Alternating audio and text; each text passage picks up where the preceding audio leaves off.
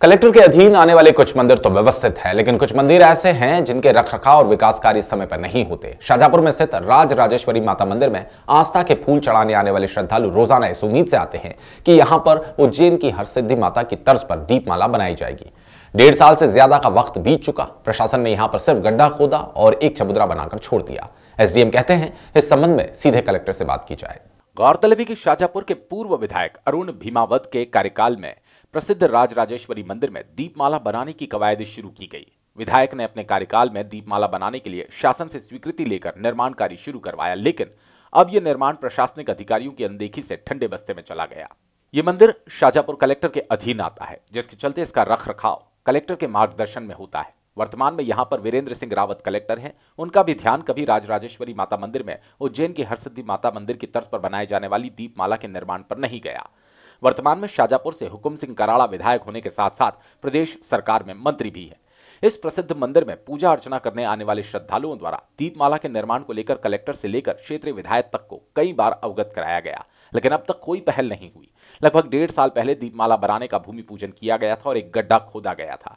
यहीं पर चबूतरे का निर्माण भी कराया गया था, लेकिन काम अब तक पूरा नहीं हुआ। इस मामले में शहर के पूर्व नगर पालिका अध्यक्ष प्रदीप चंद्रवंशी का कहना है कि दीपमाला का प्रस्ताव करीब सात साल पहले पास हुआ था, लेकिन डेढ़ साल पहले प्रशासन ने ताबड़तोड़ यहाँ गड्ढा खोदा और अधूरा काम कर छोड़ दिया।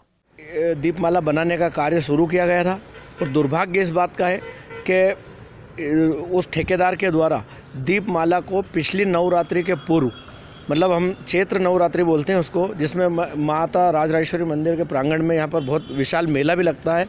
उस समय ताबड़तोब करके पुलिस प्रशासनिक अधिकारियों के देख रेख में यहाँ पर दीपमाला बनाने का काम बड़े ज़ोर शोर से चालू किया गया और एक बड़ा गड्ढा खोद के यहाँ पर पटक दिया गया। मेला प्रारंभ हो गया। जब तक काम प्रारंभ नहीं किया गया, जब धर्म प्रेमी जो जनता यहाँ पर आती है, उनने सबने प्रशासनिक अधिकारियों का ध्यान इस ओर आकर्षित किया कि साहब आपने यहाँ पे गड्ढा करवा दिया और दीपमाला प्रारंभ नहीं करवाई है। तो थोड़ी सी दीपमाला प्रारंभ करवाई और फिर उस गड्ढे को बूढ़ दिया गया कि अपन इसको नवरात्रि के बाद प्रारंभ करेंगे। श्रद्धालुओं को उम्मीद थी कि जल्द ही दीपमाला बनकर तैयार हो जाएगी और राज राजेश्वरी माता मंदिर इस दीपमाला से सुशोभित हो जाएगा। लेकिन उनका यह सपना अब तक अधूरा है।